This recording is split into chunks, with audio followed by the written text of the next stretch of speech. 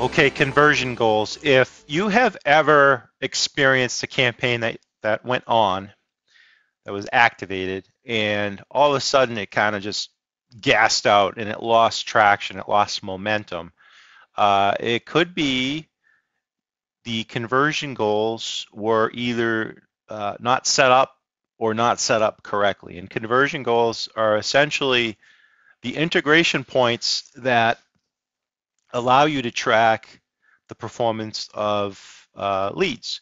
With AdMachines, we actually we have we have a couple different conversion goals. Uh, I'm sharing with you three that are set up on this campaign. We have lead forms, uh, we have phone call leads, and then we have another phone call uh, leads that we call contacts.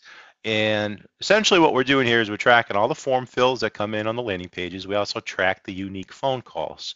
And um, our phone call solution uh, uses dynamic swap technology, which basically uh, not only tracks the leads, but it also tracks the keyword uh, performance. And on top of that, uh, with, with some of our larger accounts, we track revenue. So, um, so there you have it. You want to make sure that you have uh, conversion goals clearly defined on each one of your campaigns. Otherwise, you may experience campaigns that stall out and um, uh, they, they lack any kind of momentum.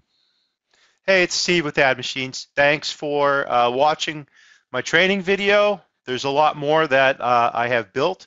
All you have to do to, to watch videos just like this one, go to freeppctraining.com. That's freeppctraining.com.